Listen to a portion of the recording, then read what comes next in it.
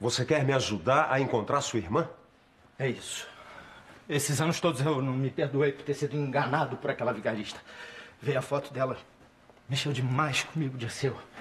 Eu não posso mais ficar de braços cruzados. Eu quero participar das buscas. Não, por mim tudo bem. Eu acho ótimo poder contar com mais uma pessoa de confiança. Mas de que maneira você pretende me ajudar? Da maneira que for preciso.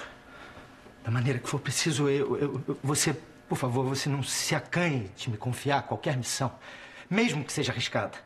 Eu vou fazer todo o esforço, eu não vou medir esforços, eu, eu vou fazer tudo que tiver ao meu alcance. Mas quando você encontrar Lindalva, eu também quero estar lá. Se eu soubesse que essa vigaristazinha estava aqui, eu nem tinha vindo. Jeová, tu tá sendo muito turrão, meu compadre. Eu estou sim, eu estou. Eu tive um dia péssimo, chega de papo, eu me vou me embora, é agora, é já. Isso aqui não. Tu veio até aqui, Tu vai ouvir a história da moça. Mas quem é que você pensa que é para estar se atravessando-se no meu caminho? Perdão, quem é? Jeová. Perdão, mestre. Perdão.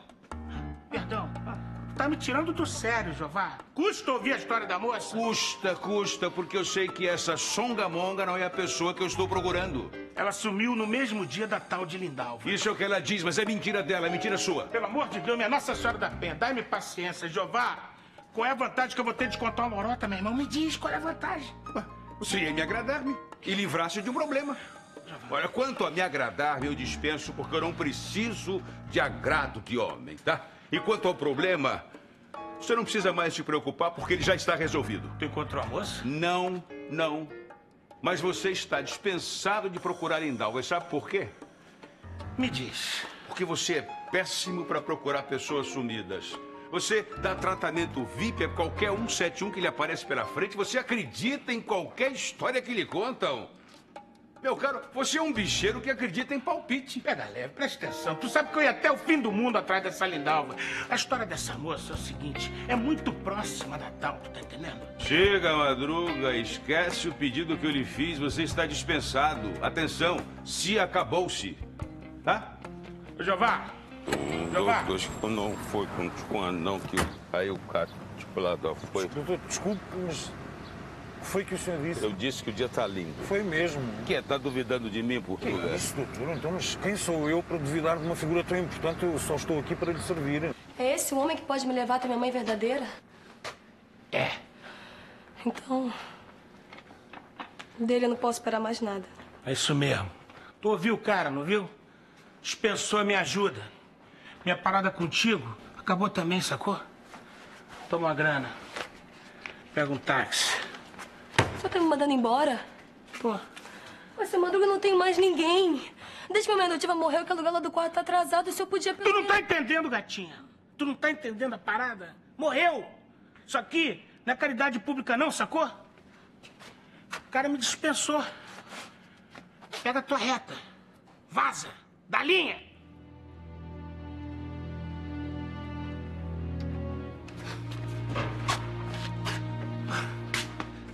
Toca pra frente que essa aí é grande. Desculpe, não entendi de novo. Eu disse, vamos embora. Sim, mas para onde? Pra casa, pra Vila de São Miguel. É sempre bom a gente voltar pras raízes, ainda mais quando o dia é assim tão decepcionante. Toca pra frente.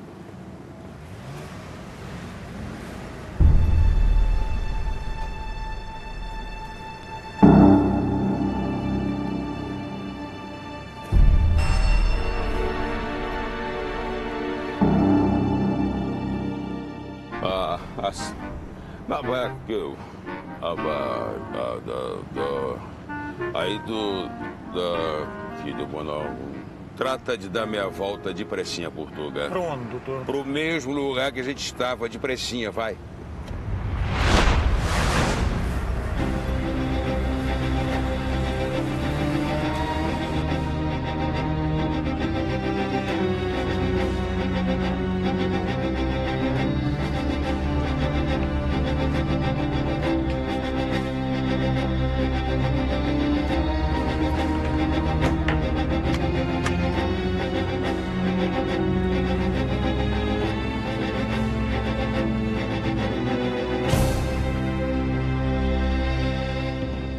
Eu já sabia que você se sentia responsável pelo sumiço da sua irmã. Eu presto atenção nas pessoas e, no seu caso, eu logo percebi isso. A minha mãe deixou a menina sob os meus cuidados. Eu sei que ela não fala sobre isso para me proteger da culpa, mas não adiantou nada. Tiraram a Lindalva dos meus braços. Esse é um trauma que eu não consegui esquecer e eu acho que eu nunca vou conseguir me livrar dele. Você não acha que está sendo severo demais com você mesmo, não? Afinal de contas, quando isso aconteceu, você era uma criança. Quantos anos mesmo você tinha? Oito. Que uma criança de oito anos poderia fazer contra uma mulher mal intencionada? Na verdade, Leandro, você foi tão vítima daquela vigarista quanto sua irmã. Minha mãe disse a mesma coisa. Eu mesmo já me disse isso mais mil vezes. Mas não adianta. Eu carrego essa culpa, ela continua me perseguindo.